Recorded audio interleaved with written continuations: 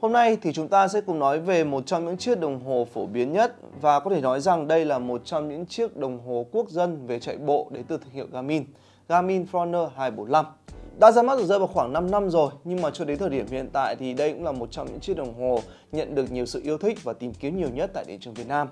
Vậy thì trong video này, hãy cùng mình nhìn lại về chiếc đồng hồ Garmin Forerunner 245 này nhé để xem rằng là tại sao chiếc đồng hồ này có thể nhận được nhiều sự yêu ái và phản hồi tích cực từ người dùng đến như vậy, và nó có xứng đáng để mua trong năm 2023 hay không thì hãy cùng mình tìm câu trả lời trong video ngày hôm nay.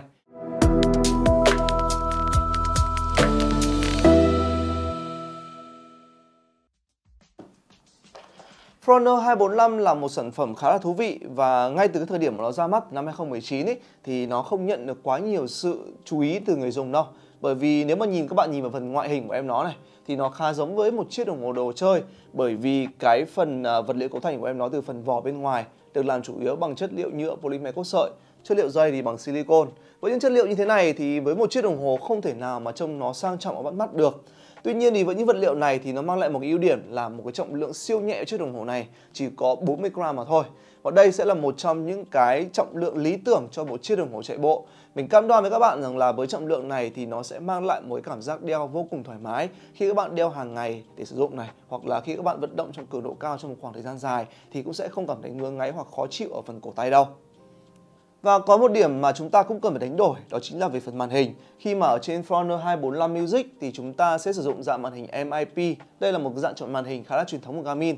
Tuy nhiên thì nhược điểm của dòng màn hình này thì nó sẽ không hiển thị cái màu sắc này và hình ảnh nó được sắc nét và bắt mắt như ở trên dạng màn hình OLED, AMOLED hay là Retina. Nhưng đổi lại thì chúng ta sẽ có một dạng màn hình có thể hiển thị rõ là thông tin ở trong nhiều điều kiện ánh sáng khác nhau, kể cả trong nhà hay là ở ngoài trời, đặc biệt là dưới ánh nắng mặt trời nhé, thì chúng ta vẫn có thể nhìn rõ thông tin mà không bị chói. Thông thường với những mạng màn hình vừa liệt kê phần trên ấy thì sẽ bị chói khi ở ngoài trời nắng. Còn với màn hình MIP thì à, chúng ta hoàn toàn có thể tránh được cái vấn đề vừa đề cập phần trên. Và một cái ưu điểm nữa đó chính là với màn hình MIP thì nó sẽ mang lại một khả năng tiết kiệm pin cực kỳ tốt cho chiếc đồng hồ này nữa. Với mức giá ở thời điểm hiện tại của chiếc đồng hồ Garmin Forerunner 245 Music phiên bản Aqua có chất liệu dây màu xanh này sẽ là 5 triệu 990 nghìn đồng và tại antien.vn thì chúng mình đang có chương trình tặng kèm cả bộ bộ dây sơ cua nữa. Tại đây chúng ta sẽ có rất nhiều màu khác nhau này, à, dây màu đỏ này, màu cam, màu xanh này, màu trắng và thậm chí là cả màu đen nữa để các bạn có thể thay thế ở trên chiếc đồng hồ này tùy theo nhu cầu và sở thích. Cái việc thay thế nó cũng đơn giản thôi vì đây là dạng dây quick release thì các bạn chỉ cần đậy một cái thôi ra này là có thể kéo được cái dây này ra và chúng ta có thể thay vào cái màu dây mà chúng ta mong muốn rồi. Với mức giá mà mình vừa đề cập tới thì các bạn thấy rằng nó có hợp lý hay không? Còn cá nhân mình thì thấy rằng là đây là một mức giá rất là hợp lý bởi những tính năng và giá trị của dòng sản phẩm này mang lại trong việc hỗ trợ theo dõi về sức khỏe và hỗ trợ tập luyện thể thao thì cực kỳ tốt. Và thực tế là với mức giá như vậy thì rất khó để tìm kiếm được một chiếc đồng hồ nào có đầy đủ được tính năng về hỗ trợ về tập luyện thể thao và theo dõi sức khỏe tốt được như Forerunner 245 đâu. Chúng ta sẽ cùng nói qua một chút về những tính năng theo dõi về sức khỏe và hoạt động hàng ngày ở trên chiếc đồng hồ Garmin Forerunner 245 Music này. Thì em nó để theo dõi các chỉ số như là về bước chân này, rồi calorie tiêu thụ, nhịp tim, mức độ căng thẳng, nồng độ oxy trong máu SpO2 và cả phân tích giấc ngủ chuyên sâu nữa. Đây đều là những tính năng có trên những dòng sản phẩm cao cấp và signature đến từ thương hiệu Garmin và nó sẽ giúp cho người dùng có thể theo dõi được sức khỏe ở mọi lúc và mọi nơi để giúp chúng ta có thể hiểu rõ hơn về thể trạng cơ thể ở bất cứ lúc nào mà chúng ta muốn.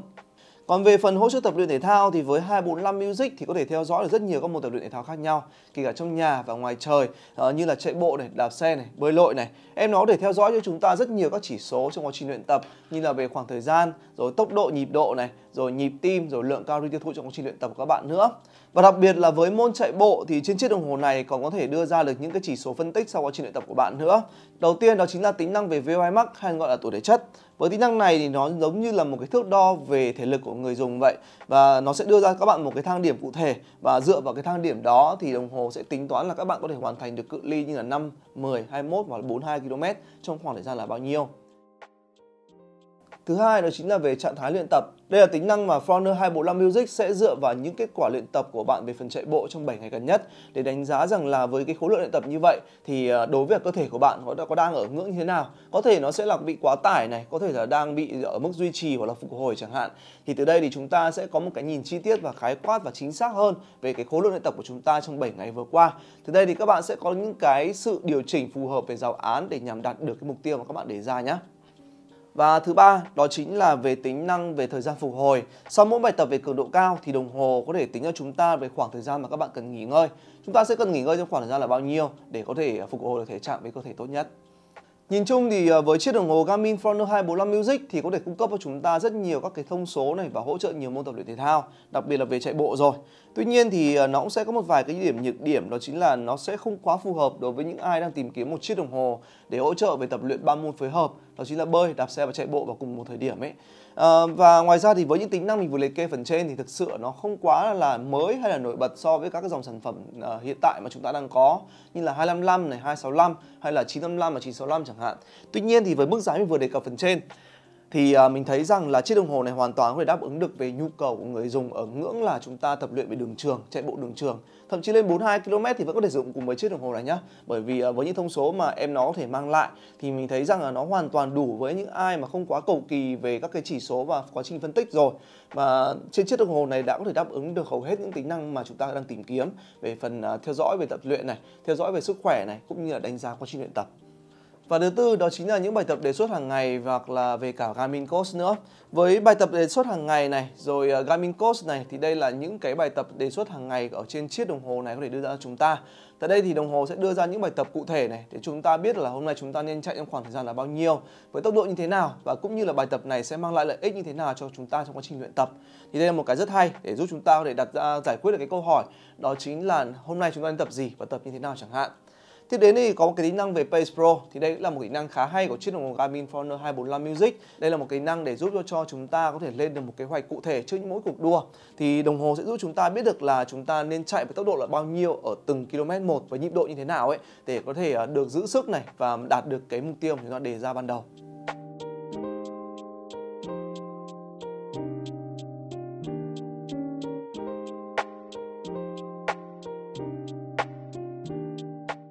Và tiếp theo thì chúng ta sẽ cùng nói về những tính năng thông minh. Thì với Forerunner 245 Music thì đều để kết nối được các nền tảng khác nhau như là Android này hoặc là iOS thông qua một cái công cụ có tên là Garmin Connect. Tại đây thì chúng ta có thể à, đồng bộ các cái hoạt động hàng ngày của chúng ta trong ngày này. Rồi tiếp đến là chúng ta còn có thể, gọi là, nhận cuộc gọi và tin nhắn đến chẳng hạn. Và đặc biệt là đúng như cái tên của em nó thì đây là một cái phiên bản Music thì ở trên sản phẩm này sẽ có một bộ nhớ trong lên đến là 4 GB để hỗ trợ các bạn có thể lưu trữ nhạc trực tiếp lên chiếc đồng hồ này. Mình áng chừng rơi vào khoảng từ 400 cho đến 500 bài hát này. Và một cái hay nữa là nếu như các bạn có một tài khoản premium ở Spotify, thì chúng ta cũng có thể đồng bộ được cái playlist ở trên Spotify của các bạn lên trực tiếp lên chiếc đồng hồ này luôn. Thì như vậy thì nó sẽ giải quyết được cái vấn đề, đó chính là khi mà chúng ta đi tập luyện mà không muốn mang theo điện thoại mà vẫn có thể nghe được nhạc, thì chiếc đồng hồ này có thể đáp ứng được nhu cầu của bạn nhé.